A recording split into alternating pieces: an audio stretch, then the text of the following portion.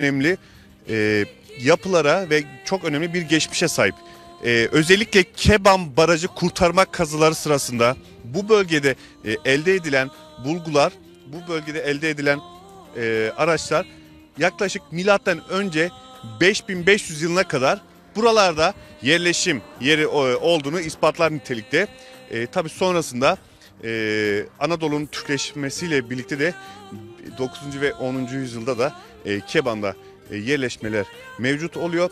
E, Keban yerleşim yeri açısından önemli kılmasındaki en önemli sebep ise sahip olduğu yeraltı madenleri ve sahip olduğu doğal kaynaklar. Bu doğal kaynaklardan ötürü de Keban ilçemiz tarih boyunca medeniyetler boyunca her zaman yerleşim merkezi olmuştur. E, bunun akabinde de tabi buralarda kültürel yapıların inşası da söz konusudur. Dilerseniz sözü fazla uzatmayalım. Şimdi Keban ilçe merkezine doğru hareket edelim. Bakalım nelerle karşılaşacağız efendim.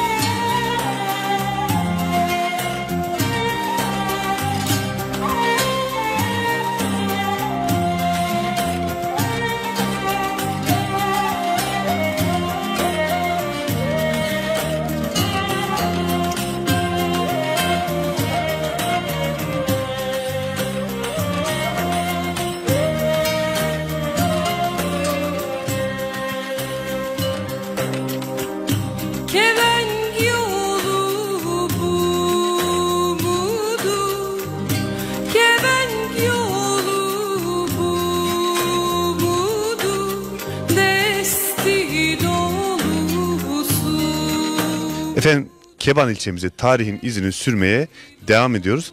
Tabi Keban tarihi deyince e, akıllara hemen e, Yusuf Ziya Paşa gelir. Çünkü Ke- e, Keban'daki yerleşimdeki bu yerleşim alanındaki e, birçok yapı e, burada bir külliye e, Yusuf Ziya Paşa maden emiri olan Yusuf Ziya Paşa tarafından e, yaptırılıyor. E, bizler de şu anda e, Vakıflar Bölge Müdürlüğü tarafından e, restore çalışması devam ettiren Yusuf Ziya e, Yusuf Ziya Paşa Külliyesi'nin iç kısmındaki caminin e, hemen önündeyiz. E, dilerseniz şimdi hem Yusuf Ziya Paşa hakkında hem de bu Keban ilçemizdeki bu güzel külliye hakkında gerekli bilgileri bizlere aktarmak üzere sevgili çok kıymetli abim uzun yıllardan beri de kendisine birçok konuda her her zaman danıştığım bir isim. Aynı zamanda e, kendisi gazeteci ve muhabirlik de görevini de üstlenmekte. E, sevgili Pir Hasan Doğan abimizle e, şimdi güzel bir e, söyleşi gerçekleştirelim. E, Hasan Bey hoş geldiniz. Öncelikle merhabalar diyelim. E, Yusuf Ziya Paşa e, kimdir ve bu külliye hakkında dilerseniz sizlerden biraz bilgi alabilir miyiz? Tabii. Şimdi Yusuf Ziya Paşa e, Ispanakçı Mustafa Paşa'nın e, yanında e, görevliyken Ispanakçı Mustafa Paşa 1850 veya 60'lı yıllarda Keban'a atanıyor maden emini olarak. Yusuf Ziya Paşa da e, onun yanında e, bir dönem Keban'da maden eminin emrinde çalışmış e, bir zat. Daha sonra Mustafa e, Ispanakçı Mustafa Paşa e, bu görevden alınıp İstanbul'a geri dönünce e, uzun yıllar e, sonra e, bu görevi kim yapar diye e, e, ikinci üçüncü Selim herhalde üçüncü Selim döneminde e, üçüncü Selim tarafından e, Keban'a maden emini olarak gönderiliyor. E, Yusuf Ziya Paşa e, e, Keban'da görev yaptığı dönemde e, Keban'a işte bu e, gördüğünüz muhteşem eser yani 1794 yılında bu Yusuf Ziya Paşa Camii ve Külliyesini yapıyor. Yapım tarihi 1794. Evet. Ve 97'de tamamlanıyor. Caminin camili külliyeyle beraber e, aşevi var, şadırvan var, kütüphane var, medrese var. Medrese bölümü yıkılmış. E, tuvaletler var. Yanında e, beraberinde hamamlar ve e, buna ait akarları varmış. Bu akarlar e, akarların gelirleriyle buradaki e, öğrencilerin, hocaların, e, işte e, görevlilerin maaşları ödeniyormuş. E, e, Yani bunlar tamamı külliyeye ait. Külliye ait evet. Ee, Yusuf Ziya Paşa daha sonra e, Keban'dan sonra Erzurum valiliğine, Çıldır valiliğine, Trabzon valisiyken sadrazamlığa atanıyor. Ve sadrazam Trabzon e, şey İstanbul'da sadrazamken 1801 yılında Napolyon Bonaparte Mısır'ı işgal ediyor ve Yusuf Ziya Paşa'ya e, e, e, e, Mısır'a gönderiliyor ve Mısır'ın çölünde e, Napolyon'u yine uğratarak büyük bir başarıyla Evet. İstanbul'a geri dönüyor. Bunu bir daha vurgulayalım. Yusuf Ziya Paşa Osmanlı döneminde çok önemli bir devlet adamı. Napolyon'u bozguna uğratan Ya, ve ilk e, bozguna uğratan ilk ilk e, paşalardan biri yani yani dünyada Napolyon hiç daha o zamana kadar da bozguna uğratılmamış yani ve Napolyon bozguna uğratıp geri çekiliyor ve e, Mısır terk etmek zorunda kalıyor. E, daha sonra bu başarısından dolayı e, e, uzun süre sadrazamlık yaptıktan sonra bu sadrazamlıkta kendisini e, şey yapıyor görevden kendisi istifa edip bir dönem İstanbul'da Beylerbeyi olarak kalıyor. Ve bir müddet sonra yine Trabzon'a vali olarak atanıyor. T- Trabzon e, valisiyken e, daha sonra tekrar yine iki ikinci kez sadrazamlığa getiriliyor. Bu sadrazam evet, bu sadrazamlık döneminde e, Rusların e, Ruslar Balkanlara e, Rusların Balkanlara saldırmasından dolayı e, Rusların durdurulması için görevlendiriliyor ve orada e, başarısız oluyor. Başarısız olmasından dolayı Osmanlı e, bunu şeye sürüyor. e, Demutkaya. Yani Yunan, Yunan adalarının olduğu kısa.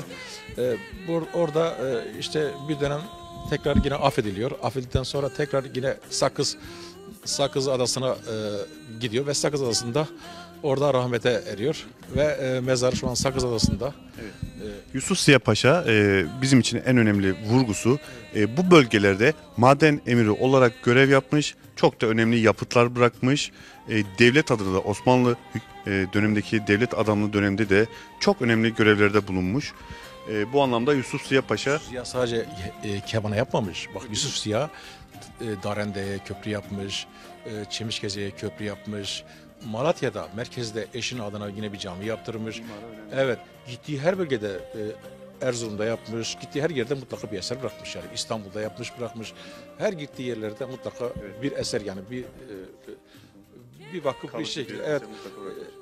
Yani bu vakıf yani 1930'lu yıllara kadar bu vakıf gitmiş. Daha sonra vakıflar genel müdürlüğüne devredilmiş. Bugüne kadar bu eser günümüze kadar gelmiştir. Daha önce de üç sefer bu camimiz restore edilmiş. En son restoredir. İşte inşallah Haziran'a kadar bu camimiz çok az bir çalışma e, kalmış. Evet. E, sevgili izleyiciler bizler Keban'la tarihin izini sürmeye devam edeceğiz. Şimdi dilerseniz Yusuf Ziya Paşa Külliyesi bünyesinde bulunan kütüphane ve aşevine de baktıktan sonra Keban'daki tarihi yolculuğumuz devam etsin efendim. Gittin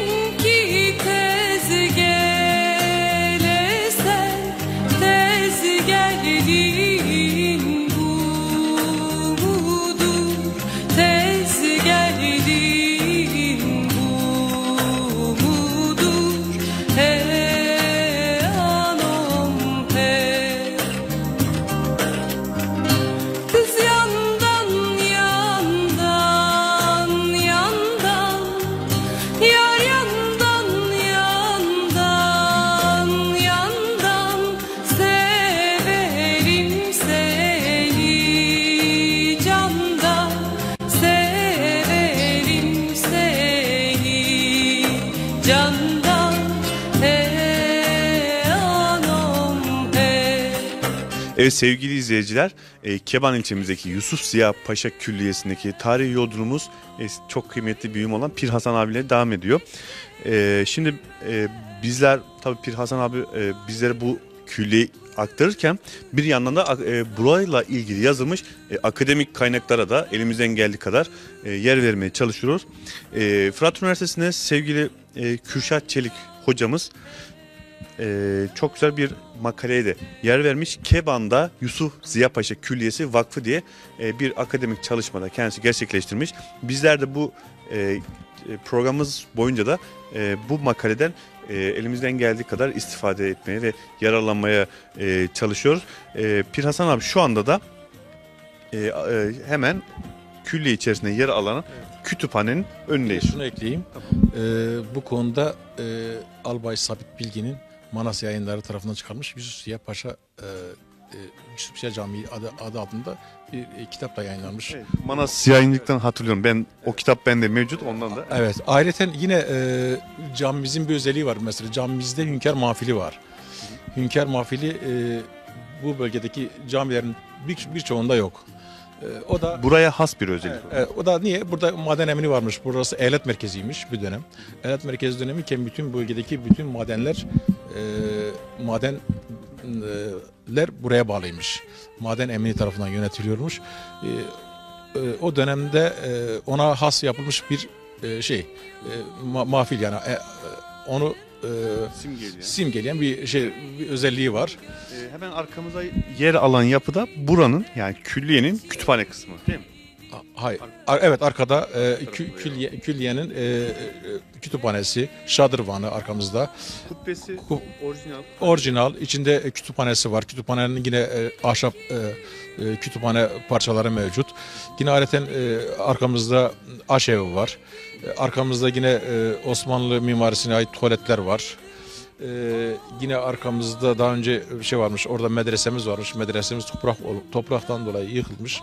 Şu an o medrese e, bölümü kısmı yok. Yani külliyenin medrese kısmı yıkılıyor. Yıkılmış evet. Bir de ayrıca kü, külliye ait ileride e, şeyler var. E, iki tane e, e, hamamlarımız var. Evet hamamlarımız var. E, bir de e, Fırat Mahallesi'nde gidip göreceksiniz belki. Fırat Mahallesi'nde Yusuf Ziya o dönemde bir de bir ahşap e, cami yapmış. Fırat Camii diye. O caminin etrafına bir çeşme bir de e, eşi ve kızlarının bulunduğu bulunduğu e, bir kubbe yapmış. E, onu da e, ilerideki şeylerde aşamalarda göreceğiz. E, Yusuf Ziya bu eserleri bırakmış. Keban'a e, devlet adamlığını göstererek e, birçok yapıyı burada günümüze kula- kadar ulaştırmasına da vesile olan bir isim. Rabbim e, tekrardan rahmet eylesin e, diyelim. O zaman e, eklemek istediğimiz şeyler var mı yoksa Keban'daki tarihi yolculuğumuz devam etsin. Bu kadar. Teşekkür ederim. E, bizler Pirasan abiye çok teşekkür ediyoruz. Gerçekten e, her dönem e, ha- e, yıllardan beri ben e, Keban'la ilgili özellikle bu bölgeyle ilgili e, gerek turizm gerek tarihi kendisinde oldukça merakı var. Bu yönde de çalışmaları var. E, her daim bizlere e, destek veriyor, yanımıza yer alıyor. E, çok kıymetli e, abim Pir Hasan Doğan'a çok teşekkürlerimi sunuyorum. E, Elazığ tarihin izinde Keban ilçesinde bugün devam ediyor efendim.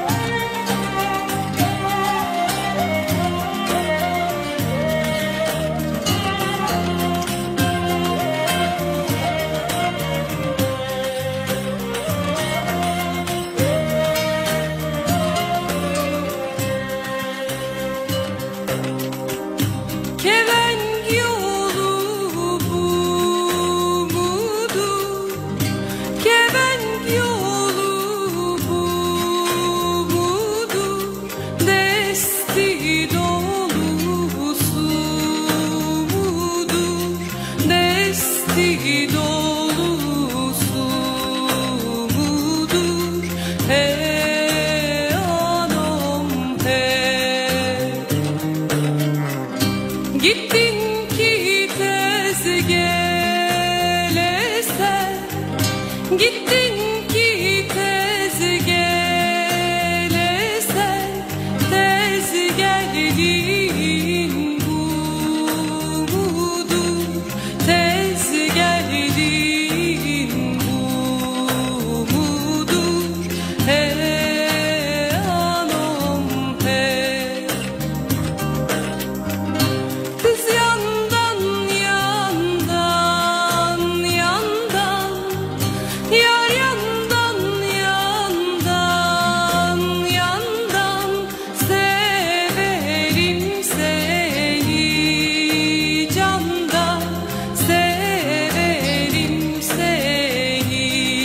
sevgili izleyiciler, e, Keban ilçemizdeki tarihi yolculuğumuz devam etmekte. Sağ olsunlar e, Hasan abi bugün bizlere eşlik etti.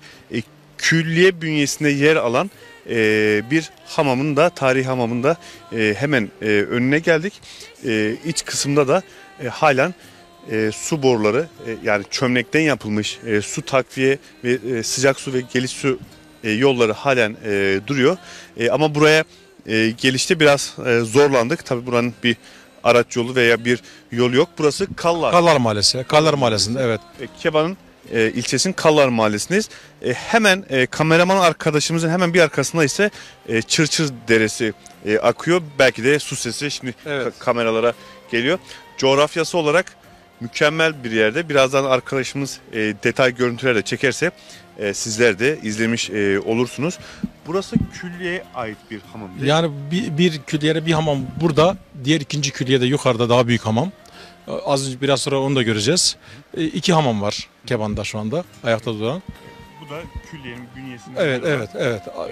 Yusuf Ziyan'ın akarlarından biri de bu yani. Bu hamamın gelirleri yine camiye kullanılmış. Hmm, Gelir olarak. Evet, evet, evet. Bu önemli bir konu. Evet. Buradaki elde edilenler e, gelirlerde Evet, e, cami bünyesine ve külliye giderleri evet. e, bakımından da e, kullanıyor. Ama burası e, bayağı tabii e, yıkılmış e, durumda. Aynen. E, coğrafyası da zor. Yani e, eğim Ya şu an zor ama o dönemlerde belki daha basit şeyle geliyorlarmış ama şu an biz zamanla ba- şey olmuş yani bahçeleşmiş. e, bizler gelirken bayağı bir zorlandık. E, çok da yeşil ve ağaçların da çok sık olduğu e, bir bölge burası. Bu tarihi hamamımızı da e, burada e, arşivlemiş olduk diyelim. Aynen, aynen, E, belgelemiş aynen. olduk diyelim. E, Keban ilçemizdeki tarihi yolculuğumuz devam ediyor efendim.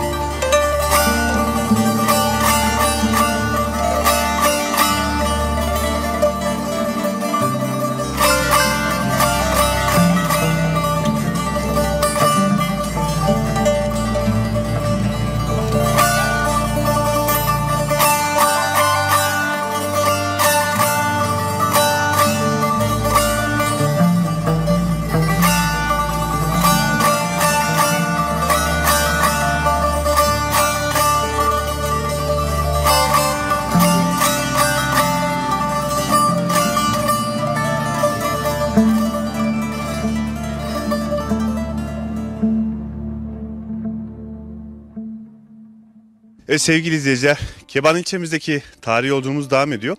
E, az önce sizler için Yusuf Ziya Paşa Külliyesi ve diğer hamamlardan e, oluşan e, bölümleri elimizden geldiği kadar aktarmaya ve ifade etmeye çalıştık. Şu anda da hemen Keban ilçe merkezimizde bulunan Hükümet Konağı'nın yanında yani Keban'ın tam çarşının ortasında değil mi abi? Doğru, Evet, halk doğru, tabirle dediğim. doğru. Çarşının tam ortasındaki e, bir tarihi yapımız var. E, aslında bizler daha önce çok defa e, yanlarından geçiyoruz E, ama e, son birkaç yıl öncesine kadar buranın bir e, kilise olduğunu e, ben de yeni öğrenmiştim. E, evet, şu anda e, Keban ilçemizde yer alan e, tarihi kilisemizin e, hemen önündeyiz. Şimdi e, gerekli bilgileri ve e, detayları da Pir Hasan abiyle birlikte konuşacağız. Dilerseniz Keban ilçesine yer alan e, tarihi kilisenin içine doğru ilerleyelim efendim.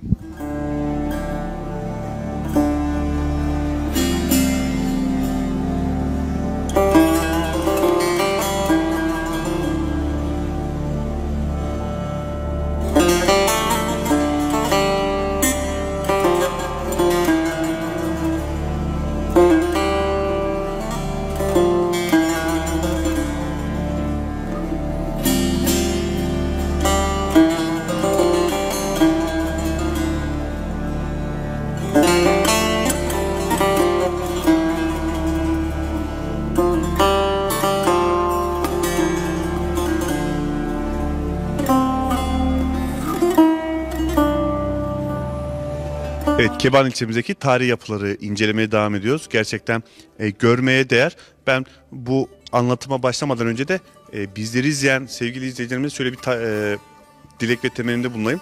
E, mutlaka Keban ilçemizdeki e, doğal güzelliklerin yanı sıra tarihi yapılarını e, gezmeyi ihmal etmeyelim.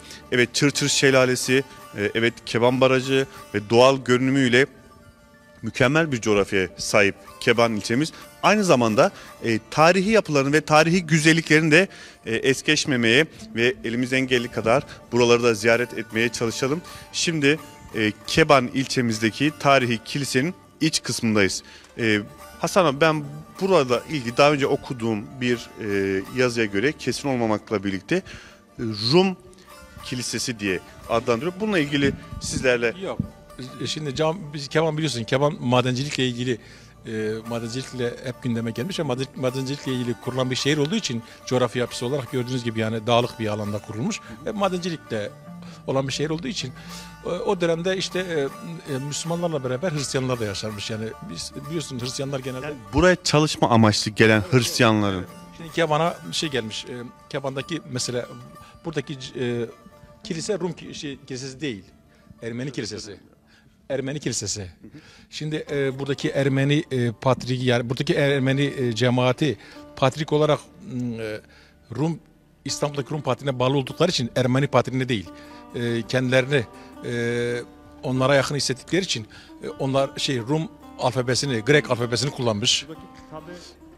1824 e, yılı yapımı.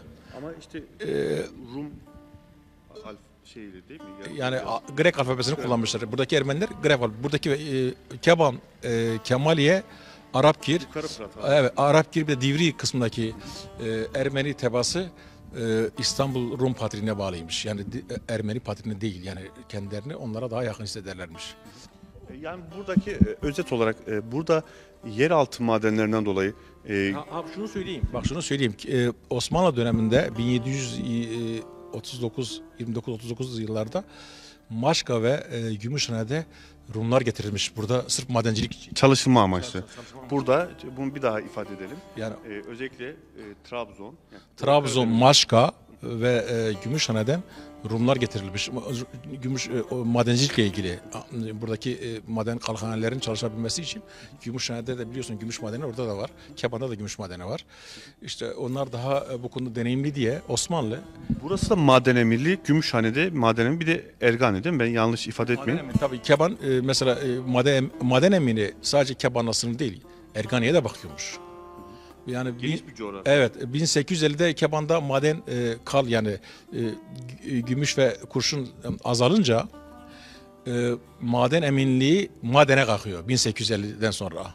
Ve orada e, hatta burada en eski hükümet konaklarından biri ve saat kulesi var. Abdülhamid'in yaptırdığı sa- saat kulesi vardır madende. Yani buradan oraya kalkıyor. Burada burası burası Daha önce maden eminli Keban ilçesinde eski ismiyle yanlış ifade etmem Gümüş madeni. Evet, Ke- Keban mesela Keban eski yaşlılarımız Keban'a maden diyor. Gümüş madeni diye de bir ok. Tabii gümüş madeni e, yani yaşlılarımız maden diyor yani gümüş maden gibi maden diyor Keban'a. Evet Keban en eski ismi madendir. Gümüş madeni. Olarak Osmanlı yazışmalarında da madeni Keban yani gümüş hani gümüş madeni diye geçiyor yazışmalarda Osmanlı yazışmalarında.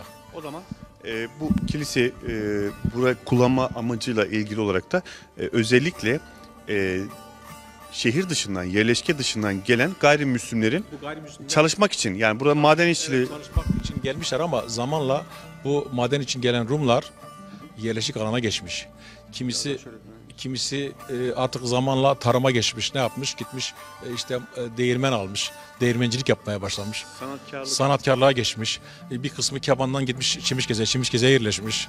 Yani bu coğrafyaya dağılmışlar. Tabii zamanla artık 1800'lü yıllarda Amerikan olayı furyası çıkınca büyük çoğunluğu Amerika'ya gitmiş. E, sevgili izleyiciler, Keban e, tarihi geçmişi olarak e, size daha önce program başında bahsetmiştim. Keban Barajı kurtarma kazıları sırasında milattan önce 5500 alt- milattan önce 6000 yıllarına kadar uzanan bir geçmişi var. E, burada e, daha sonraki e, Osmanlı'nın son dönemleri ve e, Cumhuriyet'in ilk yıllarına kadar da e, maden eminliği e, anlamında, e, yeraltı kaynakları anlamında e, Anadolu'nun bu coğrafyanın en önemli yerleşkelerinin başında gelmekteydi. E, o yüzden e, Keban'da birçok farklı e, inançlara ve farklı kültüre sahip e, olan e, insanlarımız burada e, zamanda e, yaşamlarını e, sürmüşler ve onlardan kalan yapılar da e, halen daha günümüze kadar ulaşmış. Ben bir şey merak ettim sadece. Şu arkada bir havuz görünümlü. Geçen yıl Keban Belediyesi ve İl Turizm Müdürlüğü e, işbirliğiyle e, kilisede kazı yapıldı. Yapılan kazıda vaftiz havuzu meydana çıktı. Bir de ayrıca vaftiz taşları e, meydana çıktı. Havuz. Havuz evet vaftiz havuzu e, kilisenin. E, kilisede ayrıca Franksler var. E, bazı Franksler meydana e, meydanda bir kısmı kalmış ama günümüze daha çok Franksleri 1970'li yıllarda buraya Evet belirgin o kısmı belirgin. Ee, 70'li yıllarda buraya gelen e, Hristiyan kesim yani Fransız Hristiyanları, İtalyan Hristiyanları bu Frenchleri yine kendi kiliselerine kendileri zarar vererek Frenchleri sökerek İtalya'ya ve Barajda çalışmak için mi? Baraj. baraj için gelen çalışmaya gelen Fransızlar, İtalyanlar, Almanlar Frenchleri sökerek kendi memleketlerine götürmüş. Öyle diyorlar yani, yani işte yaşlarımız öyle söylüyor. Aynısını Denizli köyündeki kervansarayda da duyduk. E, orada yaşlılarmış hatta şahit olmuşlar.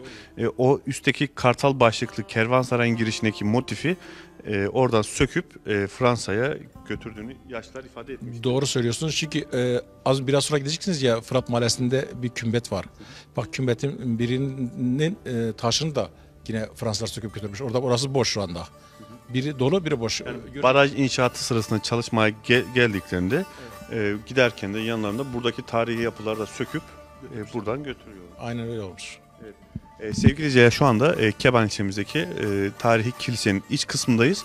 E, buradaki kilise yapısı Elazığ ilindeki diğer kilise yapılarına olarak daha dik ayakta. Burası e, Elazığ ilimizdeki e, bulunan e, kiliselere göre e, biraz daha e, sağlam e, olarak e, günümüze kadar e, ulaşa, ulaşabilmiş. E, şimdi onun sebebiyetini de az önce Pirasan abiyle konuşurken e, buranın mülkiyeti e, Keban Belediyesi'ne e, ait olduğunu ifade etti ve e, yıllarca da e, geçmiş dönemdeki belediyeler döneminde de bu son dönemlerde de belediye tarafından bakımlarının Şunu söyleyeyim Aygün Bey, bizim e, belediyenin bir çalışması var. Belediyemiz burayı çok amaçlı bir e, şey yapmak istiyor, müze yapmak yani buranın mülkiyeti Keban Belediyesi'ne. Buranın dizayn yapıp e, burayı çok amaçlı bir müze yapmayı düşünüyorum. Keban bölgesindeki e, bulunan tarihi eserlerin burada sergilenmesi amaçlı bir müze çalışmamız var. Bir de ayrıca yılın beş, belli bir zamanda e, o tebaaya ait kişiler gelip ayın derini mi yapıyor, şeyini mi yapıyor yani e, bu gibi bir çalışma var. Ama e, belediyemizin düşüncesi şu anda faaliyete geçip geçmez artık onu bilmiyorum da e, öyle bir çalışmamız var. Ee, evet, Keban ilçemizdeki e, tarihi yolculuğumuz e, devam ediyor efendim. Şimdi e, bakalım bizleri neler bekliyor, nelerle karşılaşacağız. E, Elazığ tarihin izinde devam ediyor efendim.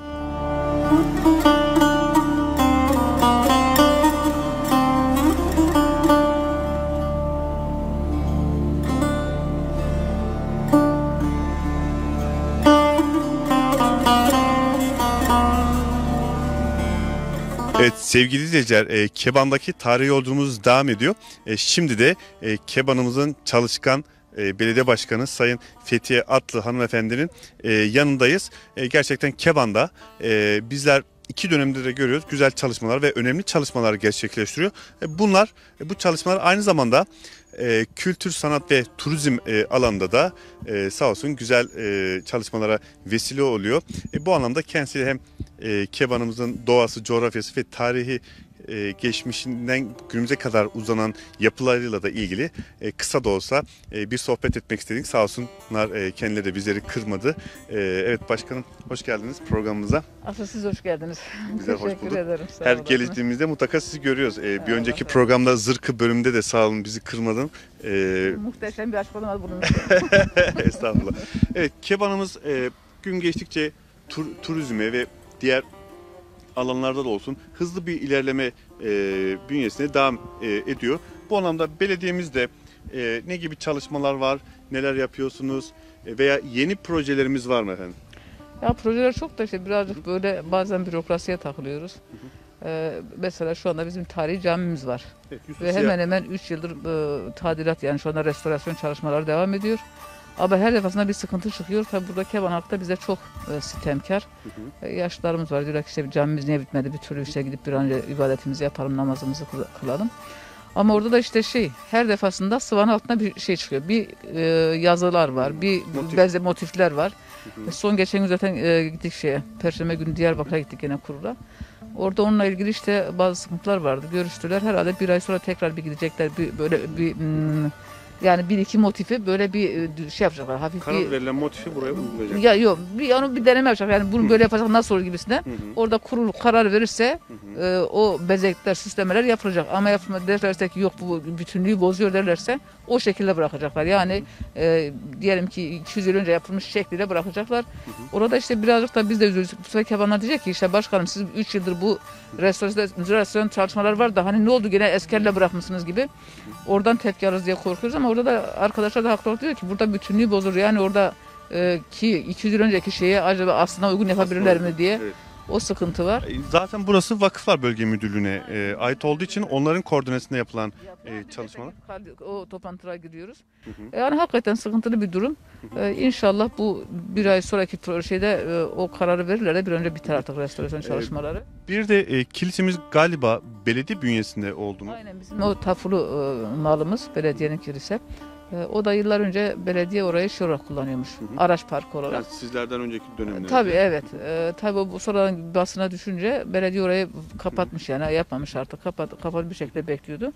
Biz e, son e, geçen yıl herhalde bir yazı yazdık hem e, özel idare, il özel idareye hem de Kültür Bakanlığı'na. Ee, ve o arada da şey e, müze müdürlüğü geldi bir kazı çalışması yaptı orada. Öyle bekledi. Şu anda tabii biz gene yazışmalarımız devam ediyor. Kültür Bakanlığı'ndan hem destek istiyoruz hem e, özel idareden. İnşallah geçen gün de Vali Bey geldiğinde o sözü aldık. Ee, Buranın bir müzeye döndürülme projesinden daha önceden duymuştum ama tabii sizden Ee, Biz öyle bir şey düşünüyoruz da hani belki olabilir ki dışarıdan belki turistler geldiğinde derler ki biz burada da ibadetimizi yapmak istiyoruz derse biz de ona bir şey diyemeyiz. saygı. Yani tabii saygı gösteririz. Evet. Yani olursa öyle bir köşe de yaparız kendilerine. Ee, o tabii ki biz bilemeyiz. Onu gene dediğim Tabii, gibi Kültür müze. Bakanlığı ya da Evet. Müze Müdürlüğü ona karar verecek. Hı hı, Ee, yani ikisi bir arada da olabilir. Müze ve kilise olarak da olabilir. hı hı. Ee, E, Bunun dışında e, tabii tarihle birlikte uyumlu olarak da turizmde e, son dönemlerde artık e, ilçelerin veya gelişim merkezlerinin gelişmesi açısından en önemli faktörlerden biri. E, turizm anlamında da e, bir, bir takım çalışmalarımız da varsa bahsederseniz. Elazığ gerçekten o konuda çok şanslı. Niye biliyor musun? 10 ilçesi var. 10 ilçende her yani hepsine gidip görülmesi gereken yerler var. Evet. Bu işte Keban'dır, Ağın'dır, Palu'dur, Sivrice'dir işte ıı, diğer ilçemiz ıı, Çemişgezek, Baskını Tertek. Baskil tabii şeyi elimizden aldınız. Kara Leylek Kanyonu'nu zalimler. Yani bunlar var gerçekten biz o konuda çok şanslıyız. E tabii bu son iki yıldır işte bu Covid meselesi biraz, e, Biraz bir tek aksatıyor bütün dünyada değil Türkiye'de bütün dünyada bu sıkıntılar var. Kesinlikle. İnşallah o da bir an önce biterse e, bizim burada tabii ki Keban'da hayallerimiz çok bizim işte bir Sarkıt Dikit mağaramız Evet, evet, vardı. evet, evet. Onunla ilgili çalışmalarımız vardı. Onu en Seyir Mera projesi. Mera vasfındaydı orayı. Allah razı olsun e, Bakanımız Sayın Hadi Tunç Bakan Yardımcımız bize destek oldu. Onu o zaman kaldırdık Mera vasfından. Proje de hazırlanmıştı. E, şu anda Top Kaymakamımızda inşallah Kaymakam Bey'le o e, şeyi o sınıfları aşacağız. Orayı bir an önce turizme açacağız. O Geçen yıl- Evet. Keban çok çok e, Kesinlikle. büyük bir ivme O kazanacak. mağarayı e, ben de gördüm. Ger- Gerçekten e, Anadolu'da böyle eşine benzer bir türden bir mağara yok. Ben de e, iki yıl önce görmüştüm. Bir de bir seyir terası diye bir... Projenin içinde seyir terası da vardı. o da onun içinde. Tabii o projenin içinde 400 dönümlük bir alan üzerinde hem piknik alanları hem yürüyüş yolları mağaraya giriş yeri açılırsa eğer yürüyüş yolu ve mağaranın üst tarafında da böyle bir alan var. Oraya da bir seyir terası yapacaklar evet. camda. Bir Yani hepsi aynen aynen çok güzel olacak. Dediğim gibi inşallah biz onu gene Kaymakam Bey'le beraber İnşallah. e, hayata geçireceğiz Rabbimin yardımıyla inşallah, İnşallah. tabii ki ve devletimizin, hükümetimizin desteğiyle bakanlarımızın. İnşallah. Ee, başkanım çok teşekkür ediyoruz. Ee, bizlere kıymetli vaktinizi ayırdınız. Ee, başkanım e, Keban'da e, sağ olsun e, her zaman kim gelirse gelsin mu- mutlaka da e, misafirperverdir. Onları karşılar, e, el- elinden geldiği kadar e, yardımcı olur. E, her geldiğimizde de bu misafirperverliğini görüyoruz. E, Keban Belediye Başkanımız Fethiye Atlı hanımefendiye de sonsuz şükranlarımı sunuyoruz. E, Elazığ tarihin izine devam ediyor efendim. Evet sevgili izleyiciler, Keban içimizdeki tarih yolculuğumuz devam ediyor ama bizler e, biraz yorulduk çünkü yer alan hamamlar e, Keban'ın farklı bölgelerindeydi. E, kameraman arkadaşımızla birlikte yürürken e, dinlenme ihtiyacı artık duyduk. E, şu anda da dinlemek için e, Keban ilçesinin hemen merkezinde bulunan Ke- Keban Belediyesi'nin üst kısmında yer alan ee, Anadolu Meleği Kadın Eğitim ve Üretim Merkezi'ndeyiz. Evet burası Anadolu Meleği nedir e, diye sorarsanız e, Anadolu Meleği e, Kebanlı bir hemşerimizin, e, mimar e, arkadaşımızın bir projesi. E, Avrupa'da birçok e, birinciliklerle birlikte e, o projeyi kendi memleketinde e, babaların ataların memleketinde e, yürütmek amacıyla şu anda Keban'da e, yapmış olduğu tamamen kerpiç ve geleneksel usullere bağlı kalarak e, yapmış olduğu topraktan bir yapı ve atalarına yadigar kalan ocak başları ve diğer tarihi yapıları da e, burada bu e, eğitim ve üretim merkezinde Anadolu Meleği Kadın Eğitim ve Öğretim Merkezi'nde e, kendisi çok güzel bir şekilde de e, yerleştirmiş. Emeğine sağlık diyoruz. E, ben e, bu dinlenme sırasında da e, sizler için e, bir de e, Harpu türküsü seslendireceğim. Sonrasında da bu tarihi Yukarı Fırat bölgesinde özellikle e, tarihimize yansıtan e, bu yapıları da çok kısa da olsa sizler için e, aktaracağım. Dilerseniz şimdi Harpu türkümüze kulak verelim ve kaleden iniş mi olur?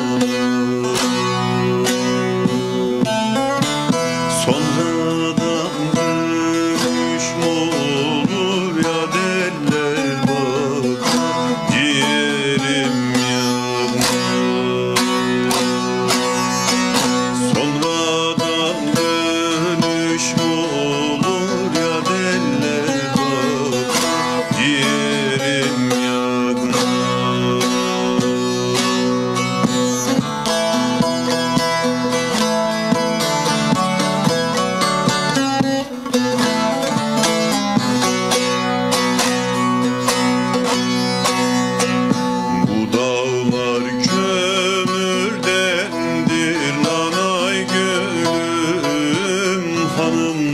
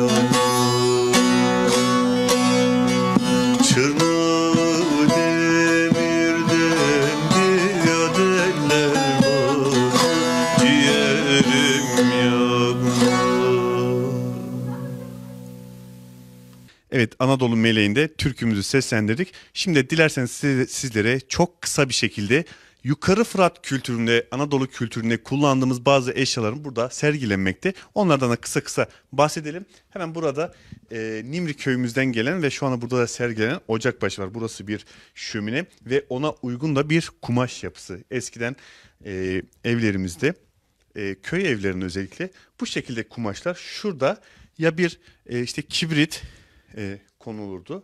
Ben çocukken de öyle hatırlıyorum veya işte bir e, karıştırıcı bir kaşık. E, yine burada bir e, gaz lambası var. E, gördüğünüz üzere bayağı bir e, eski. E, buranın yapısı böyle bizim cısır dediğimiz tavanla da kaplı. Bu beni çok etkiledi. E, bizde cısır derlerdi. E, o da e, kullanılırken özenle gösterilmiş. Burada yine e, hayvan tabi naylon dediğimiz maddenin değil de hayvan bağırsaklarından yapılan eski bir e, elek. Yine bir yün e, yanlış ifade etmeyeyim e, çünkü e, bu da bir yün tarağı. Yünü gelmek için, yünü temizlemek için kullanılan tarak ve e, kalayla evet yine bir e, kalaylı e, su ve daha çok çamaşırların yıkanmasına kullanılan yine burada bir e, sini tepsimiz e, mevcut. E, burada e, yukarı Fırat kültüründeki kullanılan e, o e, eşyaları, o geçmiş yaşantımızda kullandığımız atalarımızın, dedelerimizin, ninelerimizin kullandığı e, eşyaları e, görebiliyoruz. Aynı zamanda burada Kebanlı kadınların e, üretmiş oldukları e, oyalı, iğneli yazmalarımız, patiklerimiz, tülbentlerimiz de burada yine buradaki yerel ürünlerde e, Anadolu meleğinde burada kadınların kendi emekleriyle e, üretip e, kar e, burada işte sattıkları bir gelir elde ettikleri e, bir mekan Anadolu Meleği Elazığ tarihin izinde devam ediyor efendim. Efendim bir Elazığ tarihin izinde programın daha sonuna geldik. Bu hafta sizler için e, Elazığ'ın Keban il- ilçesindeydik. E, programı da Keban ilçesinin mükemmel bir doğa görüntüsü sahip olan e, Çırçır Şelalesi'nin tam e, orada bitirmek istedim. E, haftaya yeni bir mekanda, yeni bir tarihin izine sürene kadar e, kendinize çok iyi bakınız. Sağlıkla kalınız, sıhhatle kalınız efendim. Görüşmek üzere.